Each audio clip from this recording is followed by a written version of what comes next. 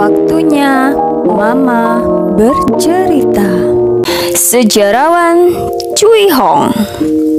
Ketika Cui Hong masih kecil, ayahnya diperiksa karena menerima suap.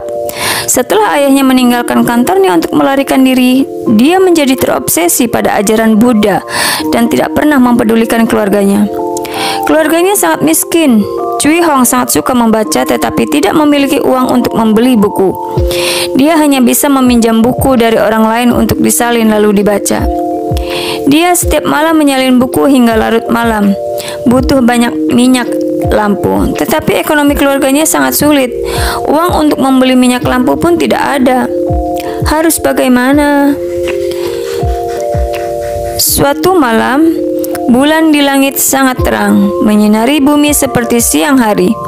Dan Cui Hong mengambil sebuah buku dan membukanya di bawah sinar bulan. Kata-kata di buku itu benar-benar terlihat jelas. Dia melompat kegirangan. Sudah ada lampu, sudah ada lampu. Dia segera dia segera berlari ke dalam rumah untuk mengambil kursi kecil, lalu duduk di bawah sinar bulan. Dengan rajin mulai membaca buku. Cui Hong sangat bersemangat. Semua buku yang bisa dia pinjam di desa sudah dia pinjam dan selesai dibaca. Pergi ke mana lagi untuk meminjam buku? Dia teringat pamannya.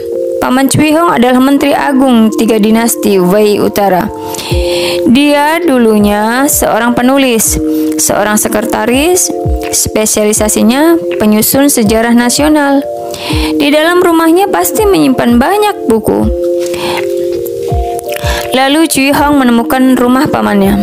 Ternyata benar, rumah pamannya memiliki perpustakaan khusus dan deretan raknya dipenuhi berbagai jenis buku. Hal ini membuat Cui Hong sangat bahagia. Dia tinggal di rumah pamannya dan tidak pergi lagi. Dia membersihkan perpustakaan sampai bersih, lalu meletakkannya buku satu buku di atas meja dan menganggapnya sebagai ruang belajarnya. Pada siang hari, dia mengunci pintu untuk membaca dan sering melupakan makan malam hari. Ia menyalakan lilin dan tidak tidur. Lilin diletakkan satu persatu dan satu persatu buku.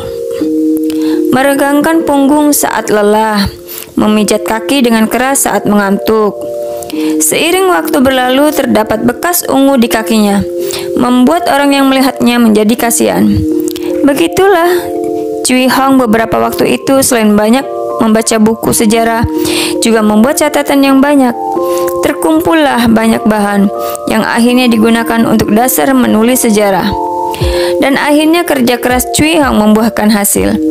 Dan remaja yang bekerja keras ini akhirnya menjadi sejarawan yang terkenal. Sebagai bahan renungan, kita harus pandai menggunakan informasi di sekitar kita untuk menciptakan kesempatan belajar untuk diri kita sendiri. Dalam proses belajar, kita tidak perlu takut pada kesulitan belajar. Kita harus belajar dengan giat agar dapat mencapai tertentu di sebuah bidang. Cerita diambil dari buku Saya adalah Raja Pengendalian Diri.